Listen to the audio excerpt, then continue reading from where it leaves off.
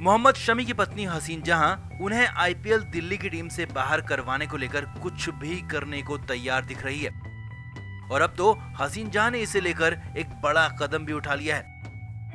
यही नहीं, कदम भी ऐसा जिससे दिल्ली डेयरडेविल्स टीम के सीईओ भी हैरान हो गए।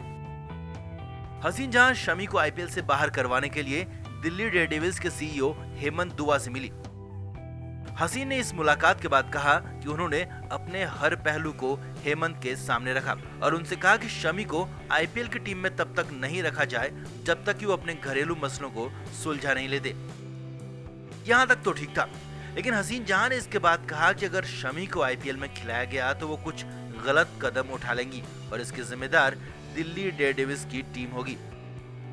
हसीन जहाँ ने आरोप लगाया कि शमी के कई अफेयर हैं और शमी ने मुझे काफ़ी परेशान किया है और इसलिए शमी को आईपीएल ना खिलाया जाए।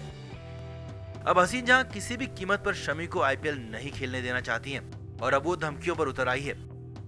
ऐसे में सवाल यह है कि जब हसीन लगातार कह रही थी कि वो शमी का बुरा नहीं चाहती हैं और उनका करियर खराब नहीं करना चाहती हैं तो फिर शमी को आईपीएल से रोकने के लिए ऐसे हथकंडे क्यों अपना रही है? सवाल बड़े हैं। Play media report.